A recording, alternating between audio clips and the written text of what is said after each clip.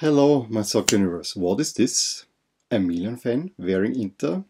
Yeah, half a year ago, this would have been unthinkable. A bit more than half a year ago. Watching his channel and watching teams, I soften on my stances. But yeah, that I'm wearing Inter has a completely other reason. I thought, who shall I put on for this what to wear video, uh, what to watch video?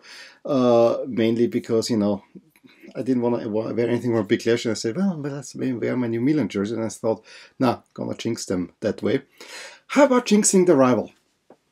Here I go. I know my jinx doesn't work that way, but yeah, uh, change, change up for a little bit. As I said, um, this is kind of the opposite from last weekend. Uh, most games that I want to watch are on Sunday and not Saturday. But let's go through the leagues and top five, and I add two more um, three more actually, where there are interesting matches that might be uh, worth watching if you can get to. In Spain, Real Madrid, who to me look like the team that is going to be the new champions, play Alaves early on Saturday. Celta Valladolid on Friday. I'm not sure if that's a great matchup. I like actually Valencia Villarreal. That seems to be the game to watch uh, Saturday evening, probably. also said Eibar could be interesting, Basque Derby but I think it's all about the Sunday evening game between Athletic Madrid and Barcelona. Although I fear this will be a nil-nil. I, I don't think it will be a good game. All that I've seen so far, I don't expect anything um, exciting. Sevilla might be a good team. Played Leganes, could be many goals in there. Maybe Athletic Club Granada. Who knows? Uh, in England, uh, there's really not a game that sticks out to me. To to be honest, Newcastle, Manchester City, maybe that's the first one. Uh, Chelsea plays West Ham, Liverpool, Brighton, Spurs, Bournemouth take your pick. I don't find anything really exciting in there. Norwich, Arsenal, Leicester, Everton probably, and Manchester United, Aston Villa. Uh, but there are other games that I want to watch at that time. So Premier League, a little bit not so great. Uh, Bundesliga, Schalke Union is probably the game for Friday evening.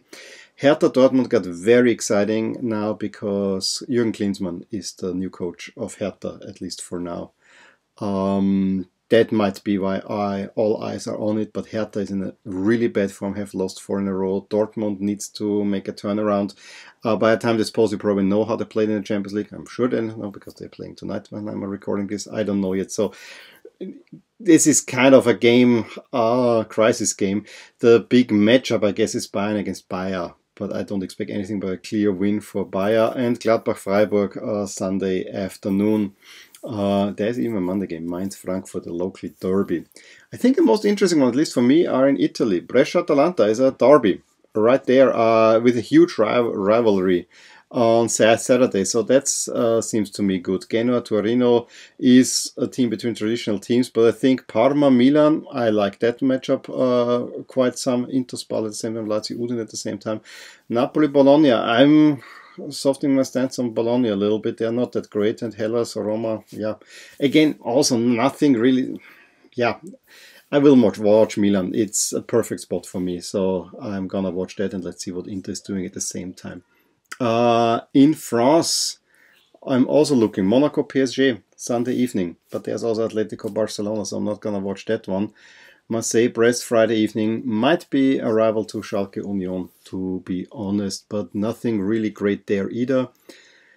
In Austria, the big one, and that's what I watched. My Lask is playing Rapid. That's uh, second against fourth. Um, not that it's close in the table, but it's always a very passionate game. Two pretty big fan bases. We play at the moment in a very small stadium. This might change, but that there's a lot of uh, anxiety, I guess, in Vienna on this, and let's see how Lask will do in the Europa League. So yeah, that's the big matchup in Austria. Every, every everything else is pretty uh, clear one side. I mean, a huge game for the table, Austria against Hartberg. Uh, if Austria wants to get into the top six to make it into the championship playoff, they gotta beat Hartberg. Uh, that much has to be clear. Another one where there's a big game is Denmark, where we have a Copenhagen Derby Sunday very early, 11:45. I wonder about that kickoff time.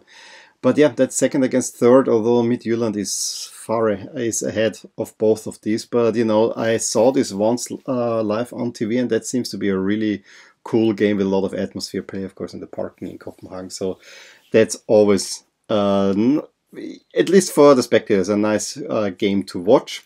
And then a really huge game, and probably um, the second biggest after Atletico against um, Barcelona is happening in Greece.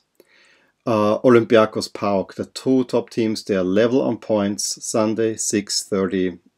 If you have a chance to watch it, unfortunately I don't. If you have a chance, that's a game to watch. On Saturday is also uh, third against fourth of OFI from Crete and AEK Athens. So there are quite some top of the table clashes in Greece as well.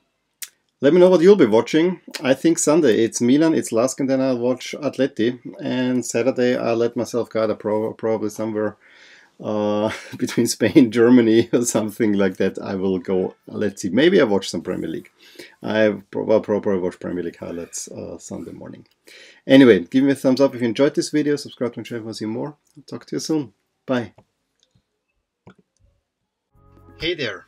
I hope you enjoyed this video and if you did, here are some videos and playlists that would be of interest to you too. Also, please consider subscribing to my channel as it will keep you updated with all things that are rotating in my soccer universe. With that, I wish you a wonderful day. Bye.